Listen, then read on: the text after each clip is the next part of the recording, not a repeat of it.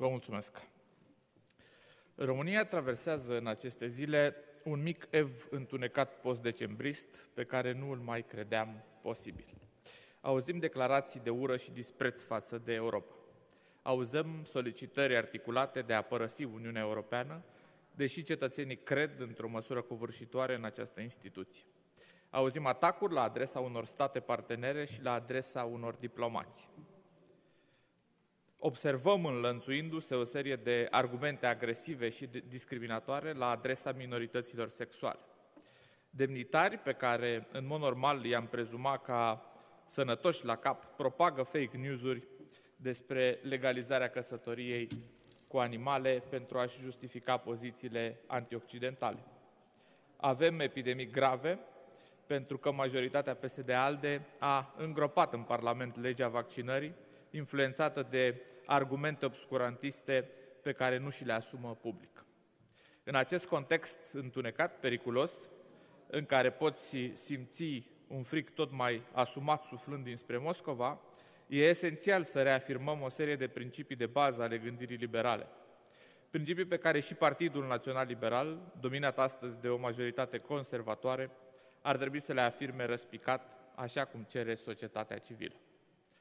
Libertățile individuale sunt esențiale și statul trebuie să stea cât mai departe de dreptul nostru la fericire, de viața privată, de suprareglementarea moralei publice.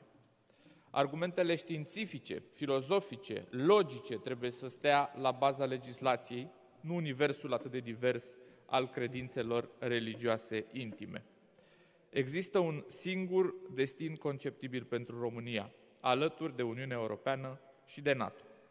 România poate să se dezvolte doar ca stat cosmopolit, modern, capabil de dialog inteligent cu toți partenerii externi, nu închizându-se în sine după modelul legionaroid sau comunist, considerându-se victima unor conspirații și centrul neînțeles al Universului. Demagogia este un instrument jalnic și inacceptabil. Mai bine stai alături de cei puțini și slabi decât să te bucuri de putere vânzând iluzii toxice. Libertatea de a protesta este esențială într-un stat liberal și tentativele de a o restrânge prin legi nedrepte și anti-europene vor fi respinse cu toată energia noastră. Libertatea presei este o valoare inestimabilă pentru a proteja o democrație fragilă ca a noastră. Organizațiile non-guvernamentale sunt vitale pentru a bloca puseurile autoritariste ale oricărui stat. Organele de represiune ale statului, așa cum este jandarmeria, nu trebuie întărite prin legi servile, pe model asiatic, pentru că suntem o societate abia ieșită din decenii nesfârșite de totalitarism și trebuie să ne protejăm cu mare atenție caracterul liberal al statului. Așa arată un crez liberal, pe care mă tem că va trebui să-l apărăm împreună cu tot mai mari eforturi în următoarea perioadă. Dar este singura cale. Vă mulțumesc!